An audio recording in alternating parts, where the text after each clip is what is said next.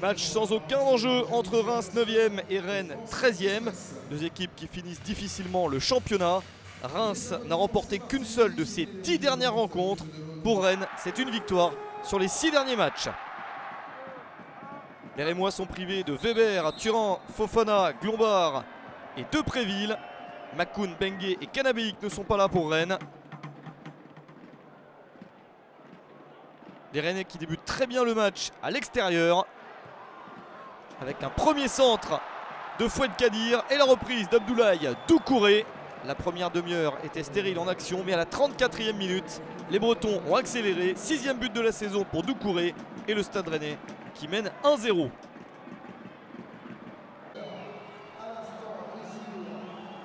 À la mi-temps, Rennes a conservé son avantage. Les Rémois sont sans réaction et ont beaucoup de difficultés à marquer des buts. La suspension de Depréville n'arrange pas du tout les hommes d'Hubert Fournier. Ceux de Philippe Montagnier finissent correctement en menant à l'extérieur. Attention à la réaction des Rémois. Mais les joueurs ont beaucoup de difficultés à se bouger. Erreur monumentale de la défense rémoise. Ola Toivonen en profite. 53e minute, 2-0 pour Rennes sur le terrain de Reims. Septième but de la saison pour le Suédois. Incroyable bévue, incroyable mésentente.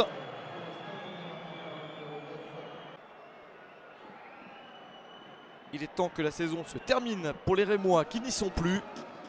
Et Rennes en profite bien. Nouvelle erreur énorme de la défense rémoise. Paul-Georges Tep va plus vite. La sortie ratée de Kossi Agassa.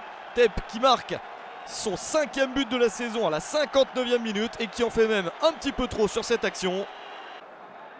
Un geste qui n'était pas nécessaire, mais le but est bien évidemment validé. Ça fait 3-0 pour Rennes. Reims a beaucoup de difficultés mais commence à rejouer en fin de match. Avec ce ballon bien récupéré.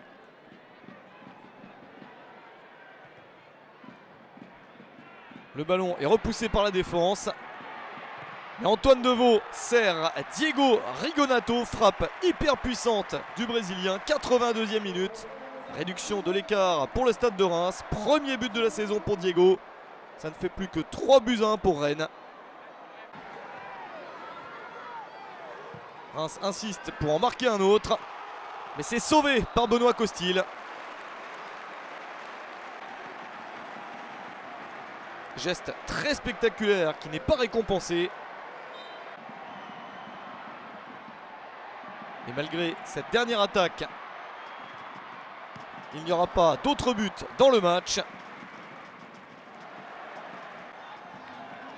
C'est bien Rennes qui s'impose à Reims 3 buts à 1.